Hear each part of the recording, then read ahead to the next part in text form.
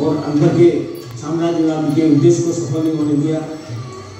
हल्दी घाटी ऐतिहासिक और सांस्कृतिक धरोहर होने के कारण यहाँ पर प्रतिवर्ष हज़ारों पर्यटक आते रहे हैं, परंतु यहाँ पर उनको युद्ध की निश्चित जानकारी नहीं मिल पाती थी।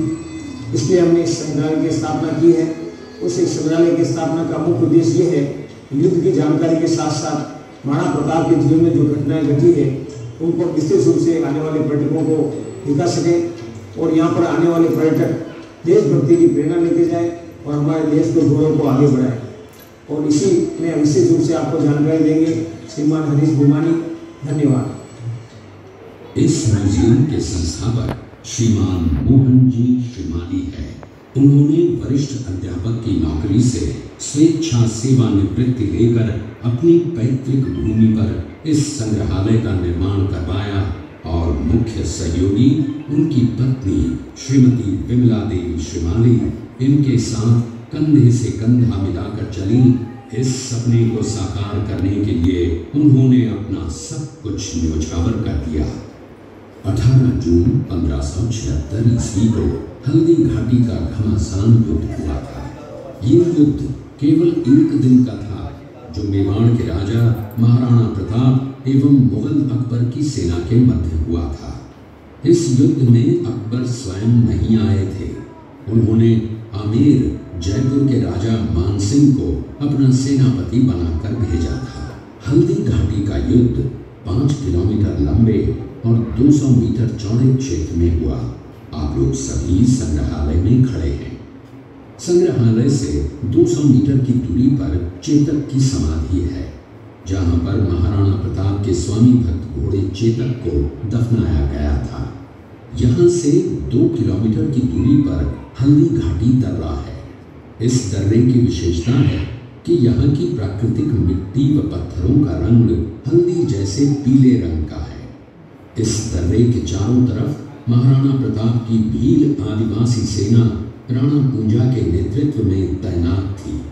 ये सेना तीर, भाले, पत्थर चलाने में कुशल थी। यहाँ से एक किलोमीटर की दूरी पर शाहीबाग है, जिसमें मुगल सेना का पड़ाव था। मुगल सेना 18 जून पंद्रह ईस्वी को प्रातः सूर्योदय के साथ मेवाड़ की राजधानी गोगुंदा की तरफ़ आगे बढ़ने लगी। तो उन पर महाराणा प्रताप की सेनाओं ने आक्रमण किया और उनसे गोरिल्ला पद्धति से युद्ध किया। ये आक्रमण इतना तेज था कि जिससे मुगल सेना में भगदड़ मच गई। महाराणा प्रताप की सेनाओं ने मुगल सेना को यहाँ से तीन किलोमीटर दूर पीछे समतल क्षेत्र में, जहाँ भी खमनोर गाँव है, वहाँ तक खदेड़ दिया। इसी खमनोर गाँव के पास, बनास नदी के पास समतल मैदान में सात घंटे का भयानक युद्ध हुआ। इस युद्ध में दोनों पक्षों से कुल अठारह हज़ार सैनिक मारे गए। जब ये युद्ध समाप्त हुआ तो वहाँ पर मानसूनी बरसात हुई और वहाँ पर कटी हुई लाशें और खून ने पानी में मिलकर एक तलाई का रूप ले लिया। इतिहासकारों ने इस तलाई को रक्त तलाई का नाम दिया। इस युद्ध में ग्वालियर का एक पूरा राज परिवार जिसमें राजा राम शाह तंवर और उनके दोनों पुत्र थे, शहीद हो गया।